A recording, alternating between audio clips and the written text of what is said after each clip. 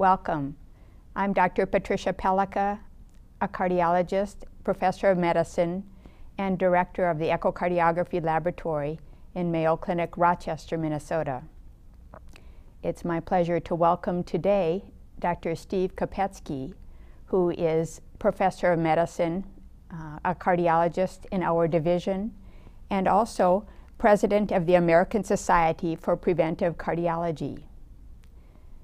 Steve has been involved with many important clinical trials involving patients with coronary artery disease. Steve, welcome. Thank you, Patty. What would you say is the best option for the initial treatment of patients with stable coronary artery disease? Well, that's a very good question and, a, and somewhat controversial until recently, in that there have been multiple trials that have tried to answer this, and the trials have really come up with the idea that optimal medical therapy is the best initial treatment for these patients. And what is meant by optimal medical therapy? Well, that is another good question, and it's and uh, it is becoming clear that optimal medical therapy is not just things like beta blockers, which it is, also aspirin, also if the patients still have angina, to give them long-acting nitrates and a, a long-acting calcium channel blocker, which are all generic. Also, if patients have a decreased left ventricular ejection fraction, they should be on an ACE inhibitor or an ARB. But also, they should be on a statin, if they have coronary disease, they probably warrant a statin.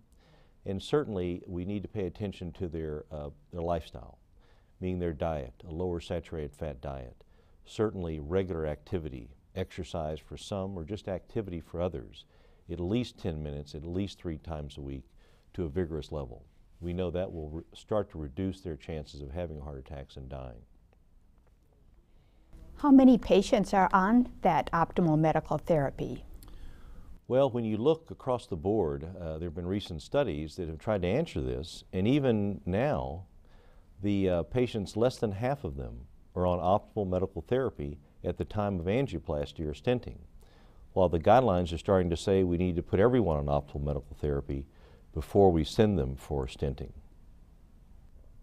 You haven't mentioned a role for coronary revascularization. How does that fit in the management of these patients? Yes, the, uh, the coronary revascularization, primarily uh, percutaneous uh, stenting, drug-eluting stents, has also been looked at. And what we have found is that it's better to put them on medical therapy. If they fail the optimal medical therapy, meaning recurrent uh, angina that just can't be controlled at the levels of activity the patient wants, then that's reasonable to opt for the, for the uh, revascularization.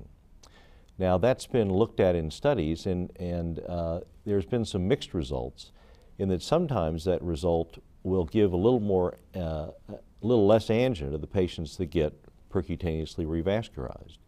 However, across all the studies, there really is not a difference in angina in the patients that are treated optimally medically versus the ones that get angioplasty and stenting.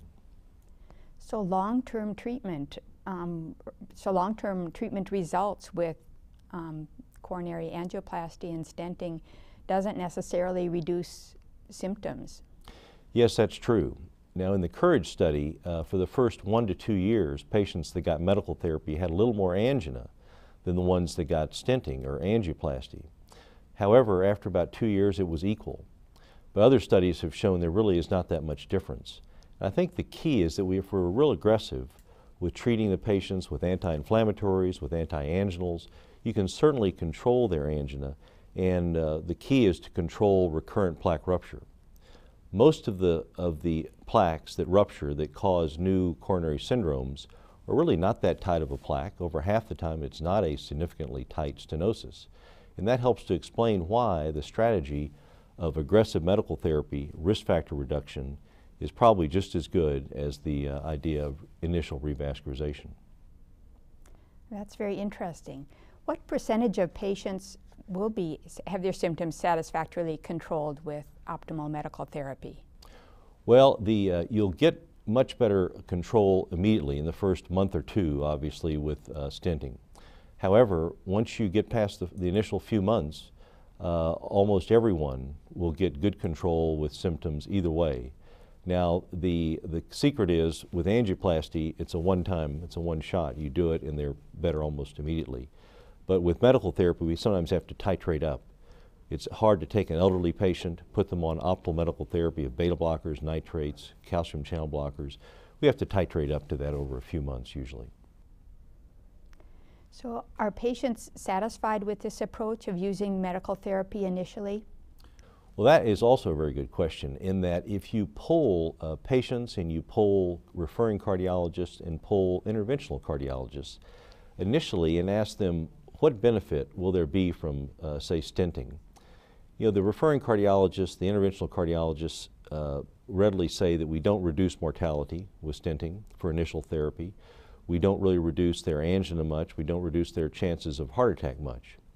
However, if you ask a patient, over 80% of patients feel that the stenting as initial therapy will help them live longer, will reduce their chance of a heart attack, reduce their chance of uh, a death. And so there's a, there's a mismatch there between what we know is reality and what the patient's perceptions are. So it's up to us, I think, to help explain this to patients that medical therapy for initial, uh, initial treatment is really quite good, quite safe, and quite satisfactory to their outcomes. So to summarize, an appropriate therapy for patients with stable coronary artery disease is to first use optimal medical therapy. And that includes not only the appropriate medications for the patient, but also important lifestyle changes including diet, tobacco avoidance, and regular physical exercise. Thanks for joining us, Steve.